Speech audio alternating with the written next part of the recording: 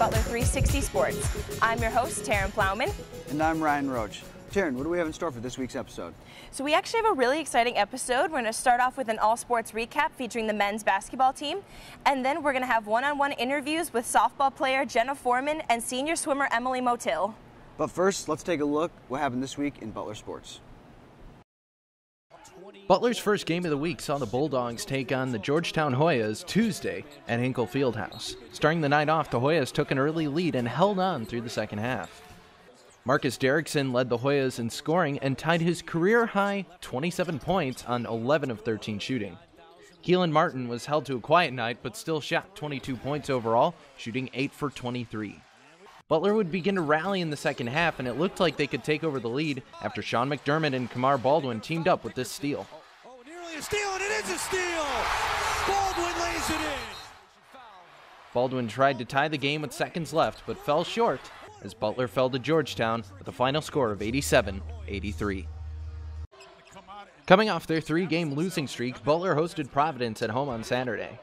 The Bulldogs kept the game close early, swapping the lead with the Friars several times in the first half. The second half would hold the main story of the game, though, as Butler locked down their defense, with Providence shooting 5 of 32 and only 19 points after the break. Kelan Martin led the way in scoring with 19 points of his own, and Paul Jorgensen added 12, and Tyler Wideman and freshman point guard Aaron Thompson combined for 15 rebounds. The second half stand gave Butler the victory over Providence 69 54, snapping their losing streak and keeping their tournament hopes alive. The Bulldogs will host Creighton on Tuesday this week and have the weekend off before two road games next week against St. John's and Seton Hall. Claire with the women's basketball highlights. The Butler women's basketball team snapped their six game losing streak with a win over Providence on February 16th. Junior Michelle Weaver scored a season high 20 points in the 69 48 win. The Bulldogs outscored the Friars 22 8 in the second quarter, with junior Tori Schickel scoring six straight points in the paint. Schickel finished with 12 points, 7 rebounds, and 6 assists. On February 18th, the Bulldogs suffered a tough loss to Creighton, 64 55. The Bulldogs shot 36% from field goal range and trailed Creighton in all four quarters. Tori Schickel led the Bulldogs with 20 points, 8 rebounds, and 2 assists, and Whitney Jennings had 10 points, 4 rebounds, and 5 assists. The Bulldogs will play Xavier on the road next week as their final game of the regular season. The Butler University men's tennis team started their 2018 season with a rocky start. Their first three matches resulted in the Bulldogs having a 1 and 2 record. Since then, Butler has moved their record to 5 and 2. The last three matches, the Bulldogs defeated the University of Indianapolis, Youngstown State University, and the Valparaiso University Crusaders. The Bulldogs have still yet to play a conference match, but that hasn't stopped them from their four match winning streak that they currently hold. The Dogs are traveling to West Lafayette, Indiana this Saturday, February 24th at 9 a.m. They will be taking on the University of Wisconsin Green Bay Flash the Phoenix, who have a record of 1 and 4 this season, and will be stepping onto the court with a three match losing streak. They were defeated by the University of Wisconsin, Marquette University, and Northern Illinois University. Come out and support your dogs to hopefully get their fifth straight win in a row against the University of Wisconsin Green Bay. Butler women's tennis team went 2 and 1 in Rhode Island this past weekend. On Friday, the Bulldogs lost to Bryant 2 to 5, but defeated Rhode Island 6 to 1 later that day. On Saturday, Butler swept Big East opponent Providence 7 to 0. The Bulldogs will play Gustavus Adolphus College in Indianapolis next weekend. The Butler women's lacrosse team lost 12 to 2 this past weekend at Michigan in their first game of the season. The Bulldogs were down 10 0 until freshman Karina Latsko scored the first goal of the season for the Bulldogs. The team will host Louisville in their home opener on February 22nd. Butler sophomore Logan Sabins won the Invitational at Savannah Harbor this past weekend for men's golf. His 54 hole score of 7 under 209 won the event by two strokes. Butler finished sixth overall in the Invitational. As the Butler women's swim team prepares for the Big East Championship in Ohio, reporter Taryn Plowman takes us to the HRC pool to interview swimmer Emily Motil. I'm here with swimmer Emily Motil. So, Emily, can you tell me a little bit about your season? Yeah, so our season's coming to a close. We are just about to compete in uh, Big East next week, so that's going to be really exciting. Congrats. Thank you. We're almost there. It's a long season. It's about like five, six months, so Yeah. a lot of hard work, but we're almost there, finish line. Great. Has your whole team qualified for the Big East Championship? Um, so 26 of our girls are competing at East, which Okay. is awesome, which is the highest number we've ever had at Butler. Wow. Um, so that's pretty cool, and we get the opportunity to score 18 of those goals. Yeah. Um, that can build points for Butler and increase our standings. So. That's awesome. So then as a senior on this team, and that's the highest number of girls you've ever qualified, Mhm. how proud does that make you of this team? Yeah, it's crazy. I've seen Butler swimming grow from being a team of 18 girls to being a team of 36.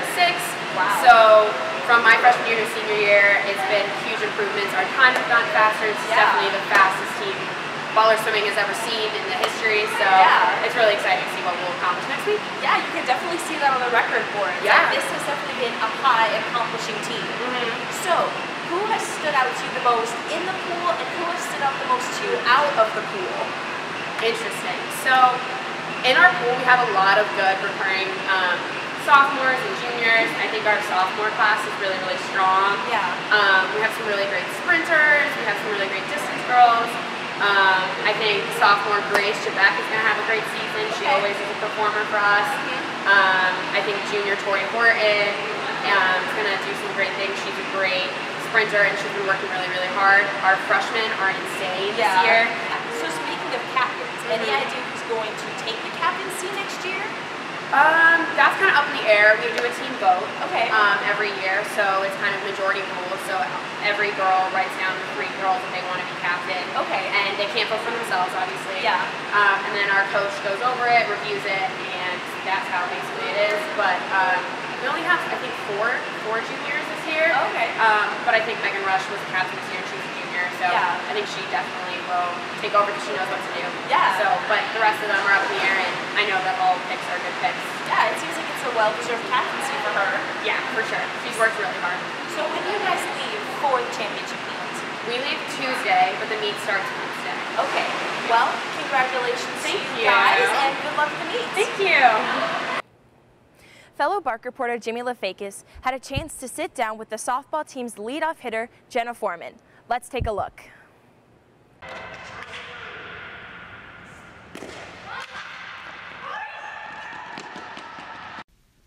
Jenna Foreman is a junior outfielder for the Bulldogs.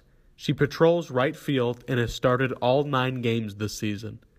Her five stolen bases and 484 batting average lead the team, and she sets the table so the rest of the dogs can eat. My role this year as leadoff hitter is definitely to get on base um, steal bases, just to get on for our big hitters to knock me in and score runs. Um, I'm kind of just doing whatever the team needs me to do, if it's laying down a bunt or uh, running out a slap or even swinging away a little bit. Um, but I definitely just want to get on base so the big boppers can knock me in and help us win some games. When Foreman arrived on campus, there was some confusion. Head coach Scott Hall had to think fast. He gave her a nickname, and it stuck. Uh, so my nickname is Jet. Um, freshman year when I got here, our assistant coach's name was also Jenna, so it was really confusing when coach and other players would be like Jenna or Jen, and we would both always look. So we were like, we need to get this kid a nickname. So my coach came up with Jet because I'm quick, and it's kind of stuck ever since. After reaching the NCAA tournament her freshman year, the Bulldogs came up short in last season's Big East tournament. We competed pretty well, but fell short and didn't get to go to the NCAA tournament. That's definitely one of our goals this year, though, and I think we're more than capable of uh, getting if we keep working hard. Reporting for the Bark, I'm Jimmy LaFakis. I am joined by fellow Bark reporter Chris Brown, who's here to give us an update on the baseball and softball teams. So, Chris, let's start with the baseball team. How did they perform over the weekend? Absolutely. The baseball team got off to a really strong start to start the season. Uh, they went 4 0 in their opening weekend in an invitational in North Carolina. They had two wins over Lehigh University, both by wide margins. They also defeated North Carolina Wilmington, and in the final day of the invitational, had a comeback win over Eastern Kentucky. So they're off to a really great start, 4 0 record to start the season. Outfielder Gehrig Parker leads the team uh, in home runs now. He hit his first home run over the weekend. Also, outfielder Harrison Freed leads the team with nine RBI. And infielder and pitcher Garrett Chrisman uh, has also hitting over 500 to begin the season on the mound. Chrisman also leads the team in innings pitched with six innings and has an ERA right around three to start the season. Wow, it sounds like these Bulldogs are off to a very impressive start. Absolutely. All right, so let's switch gears. We'll go from baseball to softball. How has the softball team been doing? So the softball team hasn't gotten off to quite as good of a start. They played in two five-game invitationals over the past two weekends. They're two and seven right now, mm -hmm. but they have faced some tough competition. Texas A&M, the sixth-ranked team in the country, being one of the teams they played actually twice. So there is reason for optimism there. Junior outfielder Jenna Foreman leads the team with five stolen bases and is hitting around 500 to start the season. Infielders Alyssa Locke and infielder and pitcher Caitlin Dowd each have four RBI. And on the mound, freshman Alyssa Graves is off to a great start. She leads the team with 25 innings pitched and has an ERA just north of two. So that's a really great start um, for her in her Butler career. Yeah, wow. I can't wait to see what how else they keep performing. All right, so what's coming up for the softball team? So for the softball team, they will have a weekend off before returning to action in another five-game invitational in Nashville, Tennessee in early March. And then also on the baseball side, they get returned to action this upcoming weekend with a three-game series in South Carolina against George Mason University. All right, well, that all sounds great. Thank you so much for joining me. And we will keep you guys updated with the teams as they continue through their seasons. And that's all the time we have for this week's edition on The Bark. Tune in next week as we sit down with baseball player Tyler Houston and reporter Zach Horrell gets a crash course in lacrosse. That's an episode you guys are not going to want to miss. I'm Taryn Plowman. And I'm Ryan Roach. And from everyone here at The Bark, thanks for watching.